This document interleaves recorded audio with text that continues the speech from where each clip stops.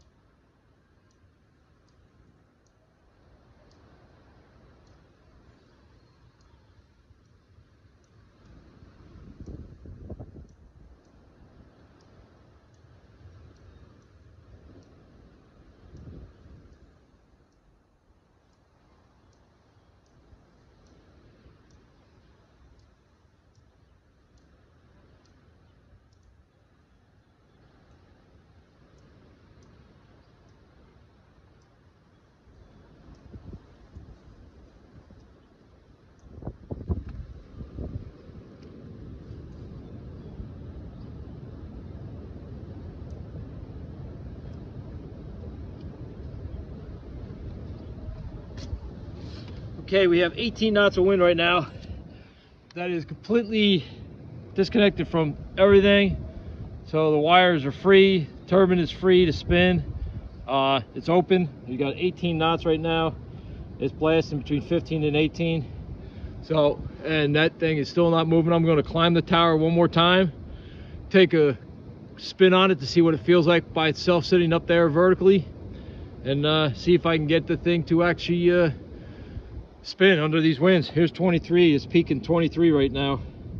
I mean, it's kicking up there. I mean, if you could hear the wind noise in the background, it's over above, above me behind the trees here, but uh, it's it's moving. The wind's moving here. So, as you can see, the anemometer just spinning away up there. 23 plus, there we go, 17. So it's gusty and it's, it's blowing. It's pretty steady above 15, which is well beyond uh, TESUP's claim for spinning this rotor. So this turbine does not work or function as promised. So modifications will be needed and a lawsuit should be ensued by people around the world against TESUP. Put them out of business, false advertisement There we go. And they have no live demonstration of their turbine working at all.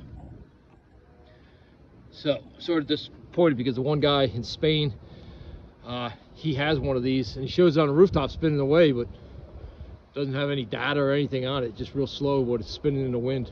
This thing's in the wind and there's nothing, nothing happening. So, massive failure on TESUP's part.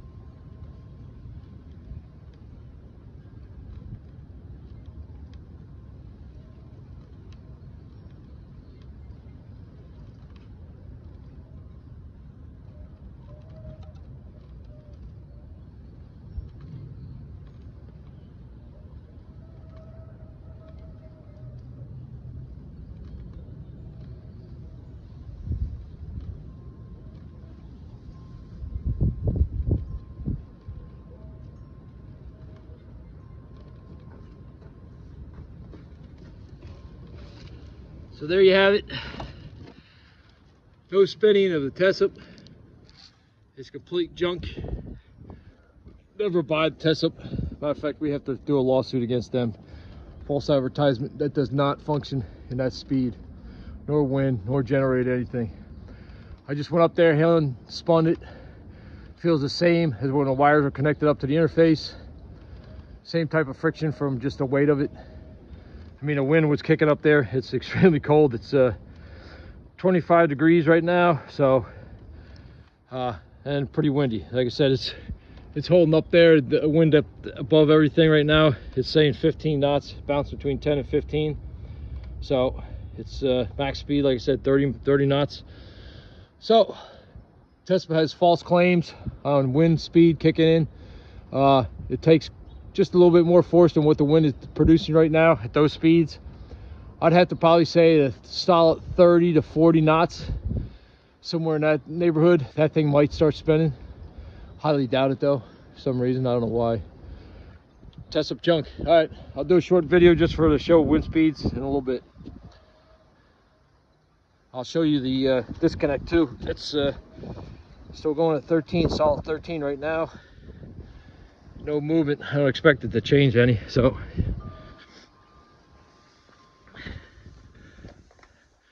those three wires right here, these three wires run from here to the generator. That was nice, huh? Run here, go right out there, go out a PVC tube on the other side, underground, all the way to the generator. No cuts, no splices, no nothing. So, this thing should be reading something on it, but it's not because this generator's not spinning. And those are the three wind inputs for this model. I gotta get that on there. So, anyway, that's the three wind inputs. Then it's got a brake. I thought maybe the brake was affected, so I took the wind off there to see if it free spins. Nothing. And the brake is in this position. This is the ones that feed the inverter, positive and negative. That's the brake. I've been using the ones that actually came in the two uh, ones from TESUP since they're cheaply made and everything. I just figured I might as well use them. So there you go. That's it. Three wires off. I got to find out from people out in the YouTube world to hear your thoughts on what do you think the problem is besides just the turbine. All right, we'll talk later.